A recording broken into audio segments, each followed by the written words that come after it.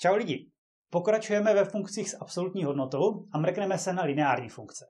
Grafy těch funkcí jsou trošku stížené tím, že v jejich zápisu může být více než jedna absolutní hodnota. Jdeme na to. V minulém videu jsme si ukázali, jak kreslit ty základní tvary absolutních hodnot. V nich byla vždycky absolutní hodnota pouze jedna a i ta neznámá byla pouze v absolutní hodnotě a tvar té funkce potom odpovídal takovému to zobáku. Taky jsme si ukázali, že ten způsob, jakým jsme přišli na ten tvar, spočíval v rozkuchání definičního obodu té funkce podle nulového bodu, protože před ním se ta absolutní hodnota chová nějak a po něm se chová nějak jinak. V tomto případě je nulovým bodem té absolutní hodnoty nula.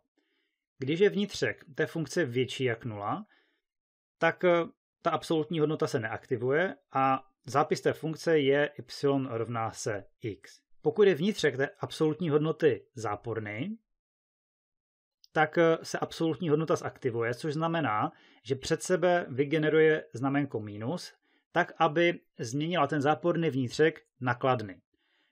Tento zobákovitý tvar funkce můžeme předpokládat u té funkce pouze tehdy, pokud tu je absolutní hodnota s neznámou uvnitř a žádná eh, neznámá není mimo a nejsou tam ty absolutní hodnoty třeba dvě.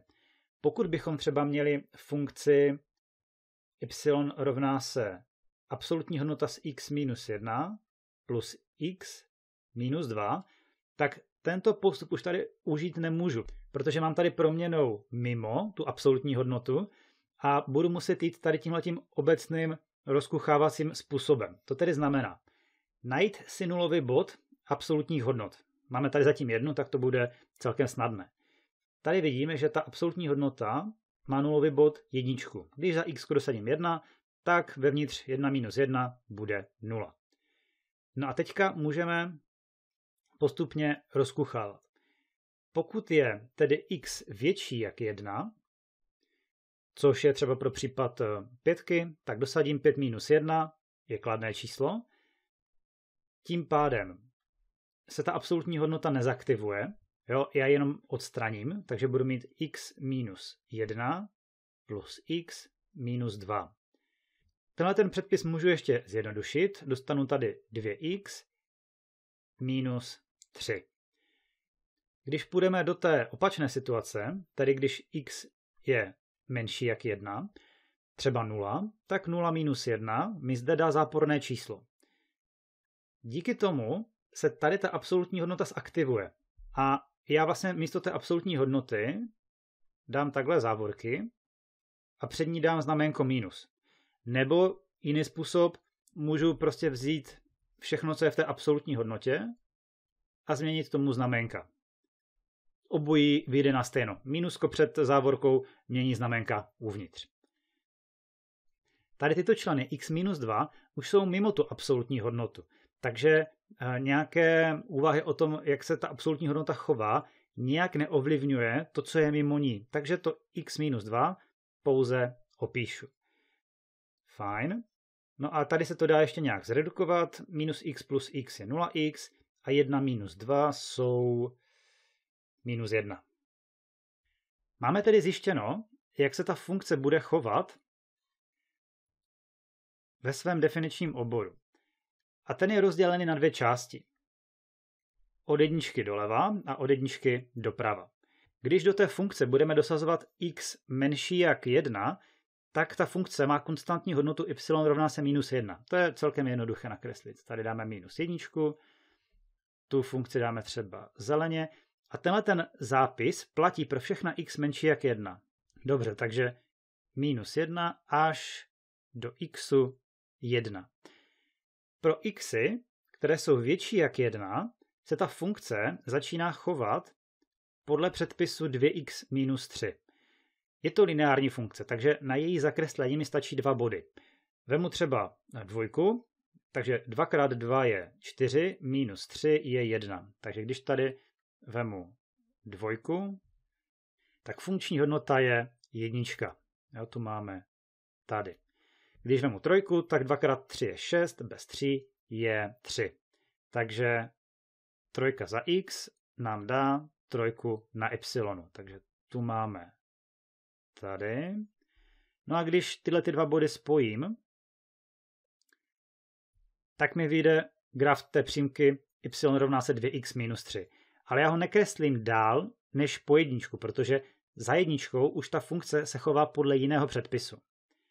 Co se týče té jedničky, toho nulového bodu, proč tady nemám rovná se, tak ono to je celkem jedno, protože vidíme, a je to tak vždycky u lineárních funkcí, že ten nulový bod, on je vlastně společný pro oba dva zápisy.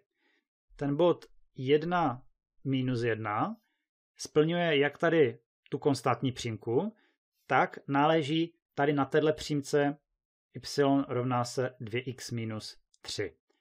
Takhle se tedy pracuje s lineárními funkcemi s absolutní hodnotou.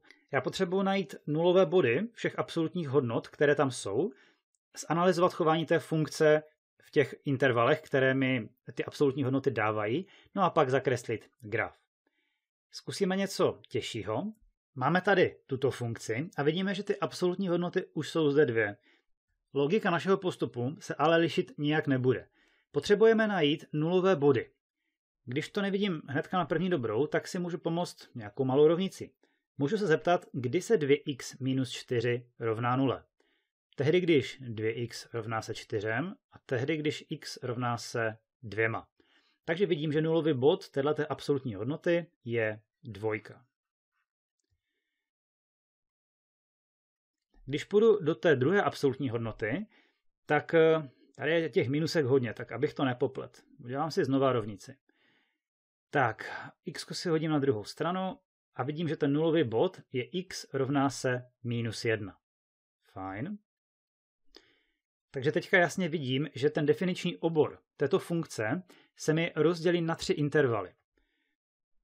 Kdybych si chtěl třeba nakreslit i číselnou osu, tak klidně můžu, jestli nám to pomůže. Tady minus jednička, tady dvojka. Teďka pokud x bude naléžet do toho prvního intervalu, tedy od minus nekonečna do minus jedné. Jak ta funkce bude vypadat? Já si klidně to, jak se ty absolutní hodnoty aktivují nebo ne, můžu psát někde bokem, třeba tady na tu číselnou osu. Když za x sadím třeba minus dvojku, tak 2 krát minus 2 je minus 4, minus 4 je minus 8. To tedy znamená, že já místo té absolutní hodnoty tam budu dosazovat člen minus 2x minus 4, protože ta absolutní hodnota se aktivovala. Díky tomu, že uvnitř je nějaké záporné číslo. Když vemu zase minus dvojku a dosadím ji sem, tak eh, minus 2 krát minus 1 to je plus 2, minus 1 to je 1. Takže v tomhletom intervalu se tato absolutní hodnota neaktivuje. Takže já tam dávám to, co je uvnitř té absolutní hodnoty jen tak. Jo? Takže minus x minus 1. Teď tohleto chování můžu zapsat do té funkce. Takže minus 2x minus 4 plus minus x minus 1, už moc minusek, minus 4. Fajn, teď tady trošku usměrním ta znamenka, takže minus 2x plus 4, minus x minus 1 minus 4. Co mi z toho vyjde? Minus 2x minus x to jsou minus 3x a 4 minus 4 je 0, minus 1 je minus 1. Podle tohoto předpisu se tato funkce bude chovat v intervalu od minus nekonečna až do minus 1. Pojďme na ten druhý interval. Od minus 1 do 2. Když vemu třeba nulu, to je takový vděčný bod, tak 2 krát 0 minus 4 je záporné číslo, tedy minus 4. Tím pádem se ta absolutní hodnota musí zaktivovat. Takže zase píšu minus 2x minus 4. Když dám nulu sem, tak 0 minus 1, to je minus 1. Takže v této absolutní hodnotě máme záporné číslo a proto se musí aktivovat. Takže generuje znamenko minus navíc. Fajn, tohle to zapíšeme do funkce, takže zase aktivuju tu absolutní hodnotu. Tady nově taky. A ta minus 4 je mimo absolutní hodnoty, ta je furt stejná. Tak, roznásobím to tu minus 2x plus 4 plus x plus 1 minus 4. Minus 2x plus x to je minus 1x a 4 minus 4 je 0 plus 1 je plus 1. Takže tenhle ten předpis mi popisuje chování funkce mezi minus jedničkou a dvojkou. Pojďme do toho třetího intervalu. Pro čísla větší jak 2, tedy interval 2 až nekonečno. Když vemu trojku, tak 2 x 3 je 6, minus 4 je 2. Kladné číslo je v té absolutní hodnotě, takže se neaktivuje. Píšu pouze 2x minus 4. Když tu trojku dosadím sem, tak minus 3 minus 1 je minus 4. V té absolutní hodnotě je záporné číslo, takže se musí aktivovat. Takže minus dávám před tu závorku. Fajn, víme, jak se absolutní hodnoty chovají v tomto intervalu, takže můžeme zapisovat. 2x minus 4 tentokrát nechávám tak, jak je. Tu druhou absolutní hodnotu aktivuju, takže minus, minus x minus 1 a minus 4. Tady mi vyjde 2x minus 4 plus x plus 1 minus 4. A vychází mi tady 3x minus 4 minus 4 je minus 8 plus 1 je minus 7. No, takže máme všechny ty předpisy a můžeme kreslit graf. Důležité jsou pro mě ty nulové body. Když se podívám výš, tak to je dvojka a minus jednička. Minus jednička tady, dvojka zde. Já jsem nikde ty body nezahrnoval do těch závorek. Nikde tady nemám špičatou závorku. Není to celkem důležité, jo? protože ty nulové body jsou společné pro vlastně oba ty předpisy. Hnedka si to ukážeme. Já když tu minus jedničku dosadím sem, tak minus 3 krát minus 1 je 3, minus 1 je 2. Jo, takže tady je jeden bod. No a když tu minus jedničku dosadím i do toho druhého hraničního intervalu, tedy od minus jedničky do dvojky, tak minus minus 1 je 1, plus 1 jsou 2. Jo, takže tady vidím, že ty lineární funkce jsou vždycky spojité. Ať už to bude vypadat takhle, nebo, nebo nějak jinak, čekat, jo, takhle, tak se nikdy nemůže stát, že by tady byl naraz nějaký skok. Jo, vždycky ty lineární funkce takhle na sebe navazují. Ale není o škody si to ověřit. Druhý nulový bod, ta dvojka, no tak tu můžu dosadit třeba sem. 3 x 2 je 6, minus 7 je minus 1. Takže pro dvojku funkční hodnota minus 1 a ten bod je zde. Teď se můžeme pustit do zakreslování. Když se podíváme na tenhle interval od minus jedničky doleva, tak eh, tady nám to popisuje lineární funkce. Stačí mi tedy dva body. Vemu si třeba minus dvojku, takže minus 3 krát minus 2 je plus 6, minus 1 to je 5. Takže minus 2 a 6 někde tady vysoko, ten bod nám vyjde zde. No a protože tu minus jedničku už jsem do tohohle předpisu dosazoval, vyšla mi tady ta funkční hodnota dvojka, no tak já už mám dva body, které můžu spojit a mám to, jak se chová ta funkce v intervalu od minus jedné do minus nekonečna. Já ale nesmím nikdy jakoby překročit tu hranici a pokračovat v té funkci takhle dál, protože v tom intervalu od minus jedné do dvou Chování té funkce popisuje už jiný předpis, ne tenhle. Takže vždycky kreslím pouze v tom intervalu, kde ten zápis platí. Tak. A tady bych mohl mezi tou minus jedničkou a dvojkou klidně udělat toto, že to tady spojím, protože znám dvě hodnoty, eh, které jsou v tom intervalu od minus 1 do 2. Ale klidně můžeme si zvolit nějaké jiné body, které nejsou hraniční. Třeba jednička. Když vemu jedničku, tak minus 1 krát 1 je minus 1, plus 1 je 0. Jo? Takže tady tenhle ten bod je uh, 1, 0. A druhý bod by třeba mohl být za x 0. Jo? 0 plus 1 je 1. Což nám taky hezky odpovídá. No a když vemu ten poslední interval od dvojky do nekonečna, tak si vemu třeba za x 3. 3 krát 3 je 9, minus 7 je 2. Takže ve trojce je funkční hodnota plus 2, takže to máme bod zde. No a k tomu, abych zakreslil předpis přímky, potřebuji dva body. Jeden už mám, ten má souřadnice 3, 2.